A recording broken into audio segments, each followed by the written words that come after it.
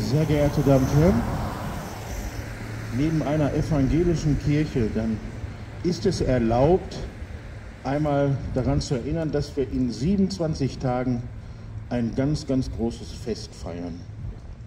Und zwar das Reformationsfest. Es ist ja nicht umsonst eine evangelische Kirche hier geworden, neben der wir stehen dürfen, sondern das hat ja alles einen geschichtlichen Hintergrund. Wie Sie wahrscheinlich noch aus der Schulzeit wissen, 95 Thesen wurden an der Schlosskirche zu Wittenberg angeschlagen. Und die erste These, das ist die These, die wirklich es voll und ganz in sich hat. Und von, aus dieser These möchte ich mal zitieren.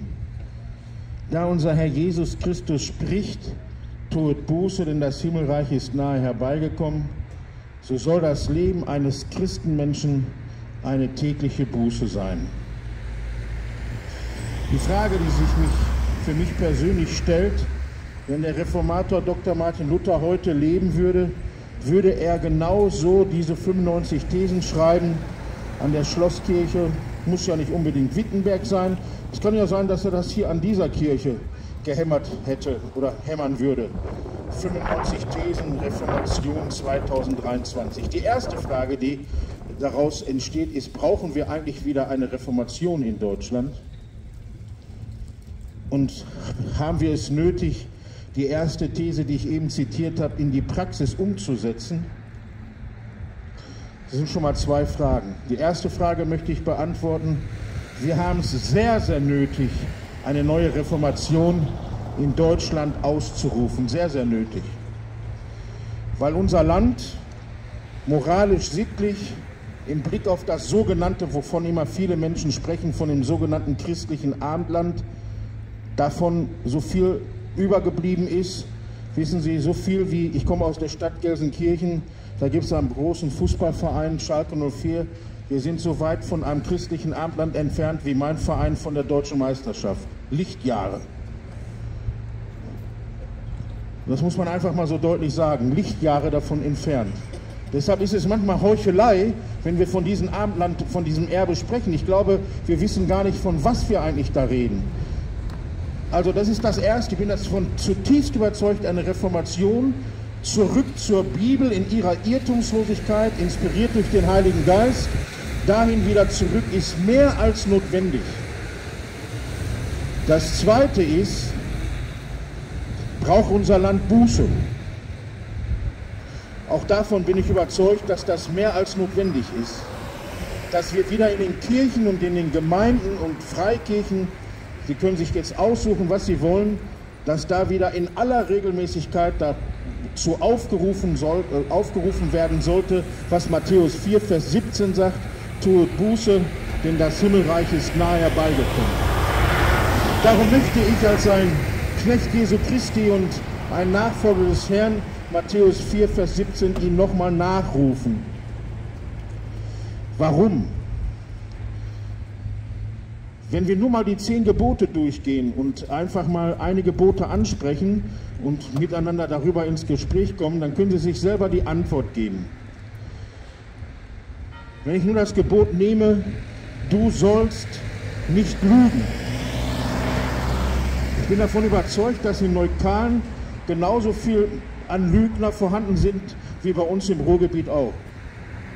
Oder können Sie mir hundertprozentig vergewissern, dass Sie in Ihrem Leben noch nie gelogen haben? Vielleicht eine kleine Notlüge.